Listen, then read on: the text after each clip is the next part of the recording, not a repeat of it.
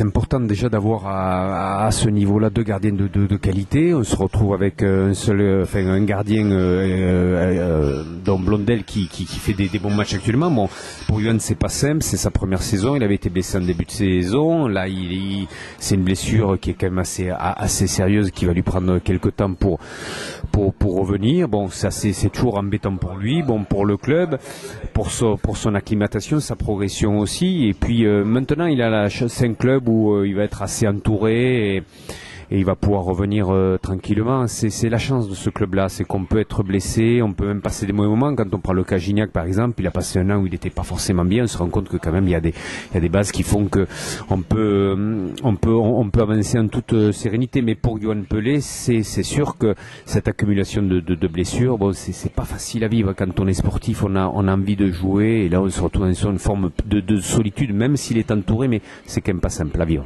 Le problème, c'est qu'on n'est pas à l'abri d'une nouvelle euh, d'une de nouvelles blessures éventuellement de, Blondel et que donc là il faut se parer à tout parce qu'on a des euh, on a des ambitions. On veut finir absolument dans les dix premiers parce que c'est intéressant pour la progression du club c'est intéressant aussi sur le plan économique. Pourquoi pas se qualifier en Europa League et on, est obligé d'anticiper et mais d'anticiper euh, de manière régionale. Ça c'est bien on l'a vu d'ailleurs avec Dani Nunke. Je crois qu'on a besoin de, si on a des, jeunes intéressants de, qualité, ça sert à rien de prendre une grosse peinture parce qu'on a, on a déjà Blondel. Bon, peut les revenir dans, dans quelques temps et pourquoi pas favoriser donc les joueurs qui s'affirment sur le plan régional. Je trouve que c'est une bonne idée. Ça concerne tout le monde et ça donne pourquoi pas de l'espoir à des jeunes.